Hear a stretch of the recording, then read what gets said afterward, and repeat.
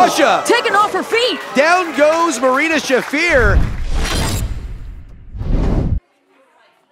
It is now time for the main event of the evening. Are you ready?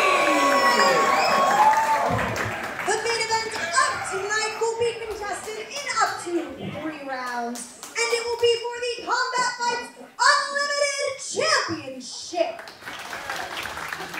The first opponent wrestling out of the blue corner from Soroca, Moldova, weighing in at 145 pounds, standing at 5 foot 7. She is an MMA practitioner, the supernova from Moldova, the problem, Marina Shafir. Former member of the Invicta MMA roster. Who ain't so bad? Who ain't so bad? Hell no! And her opponent wrestling out of the red corner. From Moscow, Russia, weighing in at 151 pounds, standing at 5 foot 1.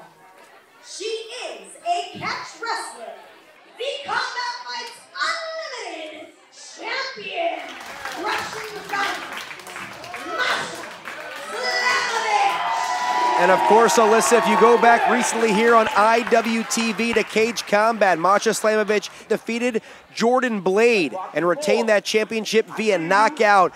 You're essentially talking about a knockout artist versus submission specialist. Something indeed has to give here in this main event at the problem. You are absolutely right, Blake. And I think, too, something else of note is that this is not the first time that these competitors are facing one another, but certainly a unique atmosphere here with the cage at CFU. Slamovich checking in at 151 pounds. Marina Shafir, of course, at 145, competed in the MMA circuit as a featherweight, so she stayed on weight pretty much in the featherweight division here. Bell sounds, we are underway. Main event time, title on the line here at The Problem. Three five-minute rounds of action. Post your in his mouth! And there's certainly already just a, a big fight feel that is permeating throughout the room and, and emanating from within the cage. Ever since this one was announced on IWTV, the tension has been building, and of course, this is one everyone came to see. Seeing a lot of strikes early out the gate from both competitors. Of course, I'm sure wanting to keep distance from one another while they feel out each other. Shafir, of course, trying to keep Slamovich honest with those leg kicks. And Shafir, of course, has the experience when it comes to the cage-like environment, of course, an MMA background. But with Masha Slamovich being the CFU champion, that has to still give her an advantage. Well, I'm sure certainly within this setting, you come in with a certain amount of confidence. But like we said, it's it's brimmed on the arrogant at times for Masha Slamovich, and could that possibly be an undoing for Russian Dynamite? Nice jab to the midsection there by Marina Shafir. Playing a little defense, covering up from the Russian Dynamite. Because I think something with the problem with Shafir is that whether it's wins, loss, draw, she's always humble and always learning and always hungry. And Slamovich with that dragon screw leg rip right into the ankle lock submission. Nice job of trying to control the pace right here as Marina Shafir trying to take some tension off, get back to her feet. Shafir using her longer limbs to wind around her opponent. And Shafir now looking to maybe grab the back of Slamovich. And look at Slamovich slide right through as these two grappling on the canvas right here. Jockeying for position, the CFU championship hanging in the balance as we're in round number one. And you can already tell these competitors are so well matched for one another. It's there's questions and there's answers, and each have them for one another. As Shafir does have a six-inch height advantage, but right now, with this bout being grounded, Slamovich essentially neutralizing that advantage. As Shafir trying to get back to a stand-up position. Chop this tree down! Chop this tree down! Words of encouragement from Julia Smokes to Masha Slamovich on the outside, and Marina towering over her opponent. And you see Shafir trying to dictate the pace, standing over Slamovich right now. As Masha grabs side control here. As Shafir trying to sprawl out of it. Nice job to shift her weight. Ooh, a big open palm strike to the midsection, thundering. Of course, completely legal here in the CFU environment.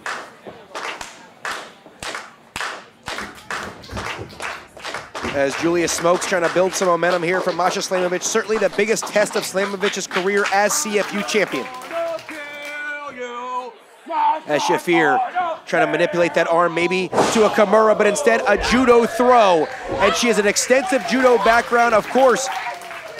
Been training in judo since she was about six years old. Jiu-jitsu since she was 22 has Shafir. And honestly, aside from when she had her first child, never took a break from training. And of course, we know of some of her training partners, the likes of Shayna Baszler, Jessamyn Duke, and of course, worldwide sensation Ronda Rousey, known as the four horsewomen of MMA. And Shafir certainly picks up her weight in that foursome. And you see it right here with that single leg pickup. And now trying to go back to work on that left knee of Masha Slamovich. Shafir pulls her weight, but she also throws weight of her opponents. And now are manipulating that ankle here. And certainly not how Masha was hoping this one played out. And now look at Shafir. Innovative submission maneuver right here. Slamovich was ducking her head, but Marina just able to capture. Marina trying to piece some submissions together here as Slamovich trying to turn her over. Nice job by Shafir to shift her weight a bit. Let's go. Oh, and the head and arm triangle perhaps could be attempted by Marina Shafir. Nice escape but she gives up the back yet again here to Masha Slamovich and the Russian Dynamite, the CFU champion. Oh, geez. With a shot right to the back of the head. The referee utilizing his discretion here. And you see Shafir grabbing against the cage. Shades of Amber Leibrock. The difference here, of course, is that Shafir is upright, grabbing the cage, perfectly legal on the oh, feet. Oh, no. Taken down to the mat by Slamovich. Nice waistlock takedown by Masha Slamovich, showing off her power. And now trying to grab that rear naked choke, as I do believe we're heading towards the end of round number one. Certainly been an impressive showing between both competitors, but Slamovich just lobbing the clubs to the back of the head of Shafir. And Alyssa, that will bring us to the end of round number one. Very back and forth affair. And while at home on paper, it might look like Marina Shafir has the advantage with her mixed martial arts background. You have to tip your cap to Masha Slamovich. The Russian Dynamite looking very impressive here in this championship bout.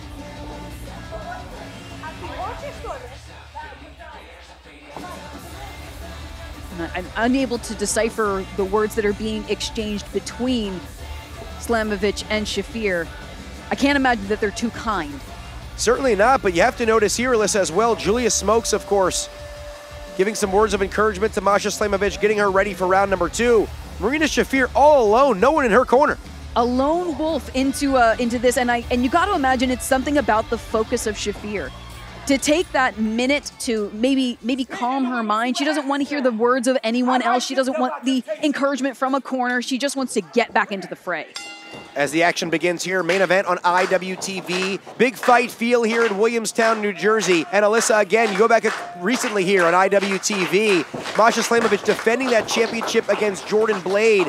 And in cage combat, she was able to get the victory, but not a lot of time to recover before this fight against Shafir. You have to think the challenger probably a little bit fresher. I mean, definitely a little bit fresher is Marina Shafir coming into this bout, making her CFU debut in a major way. She catches the kick there of Slamovich and looks to take over over and a modified dragon screw of her own and then goes right to work on that ankle.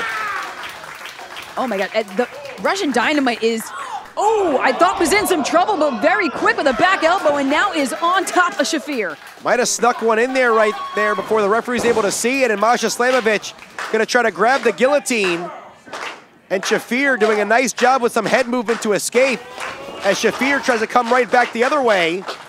And now Marina Shafir in a stand-up position, once again utilizing that height.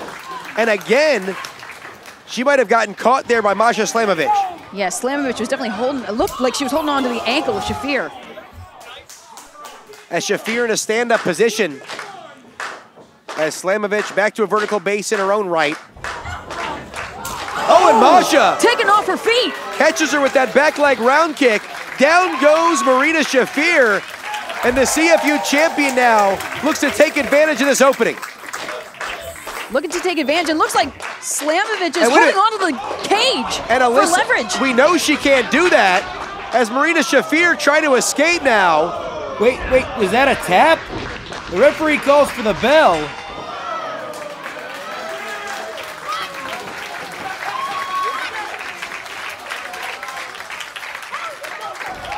Shafir screaming that it's not over. Alyssa, let's take a look at the replay here. Slamovich clearly grabbing the cage wall for leverage while grounded. Shades of Shafir and Leibrock and Invicta. I don't know if Shafir tapped, but the referee clearly seems to believe she did. The referee made the decision in this matchup. Shafir cannot be happy here. History repeating itself as Slamovich clearly doing her homework on Shafir's past fights. You have to wonder what the referee saw if there was indeed a tap by Marina Shafir. I mean, however controversial this ending may have been, I know that we have not seen the last of what's transpiring between these two competitors. This seems to be far, far from over, but we're going to head back to the cage. Sam Laterna, please tell us what went down. The winner of this match via rough stoppage in round two and still Combat Fights Unlimited champion, Russian Dynamite, Masha Slamovich! So controversy has surrounded Masha Slamovich in the past here in Combat Fights Unlimited. But this to, takes it to a whole nother degree here as Alyssa Marino, Marina Shafir, loses this bout via referee stoppage, but she seems to have a whole lot of gas left in the tank. You are absolutely right about that. I mean, and, and Marina Shafir, I think, was still defending herself to a degree, but it came down to the official's decision. Certainly could have gone either direction, Alyssa, but Masha Slamovich will leave the problem with even more problems for the entire roster of Combat Fights Unlimited as she is successful yet again as the champion.